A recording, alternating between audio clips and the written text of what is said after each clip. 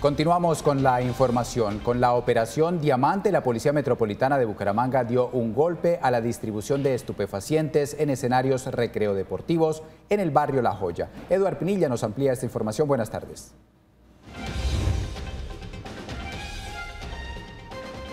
Hola compañeros, buenas tardes.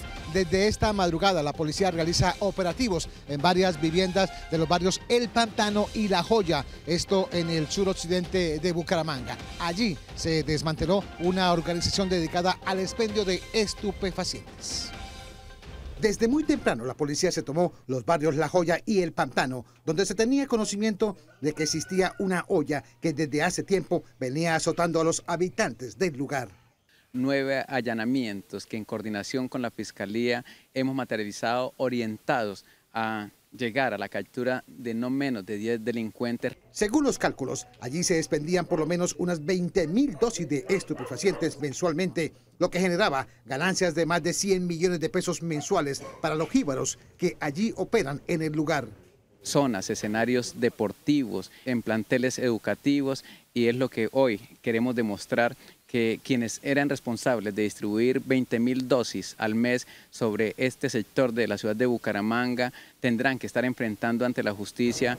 De nueve allanamientos se logró la captura de igual número de personas que integraban esta organización que operaba desde estos barrios y que distribuía, según la policía, estupefacientes a otras zonas del área metropolitana.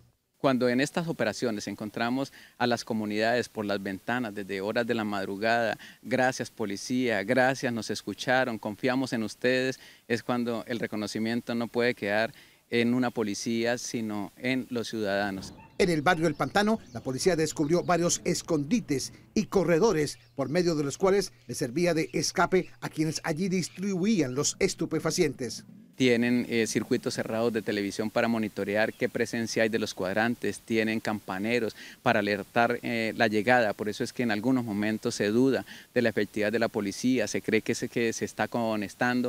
Las personas capturadas serán presentadas en las próximas horas ante jueces con función de control de garantías para definir su situación judicial.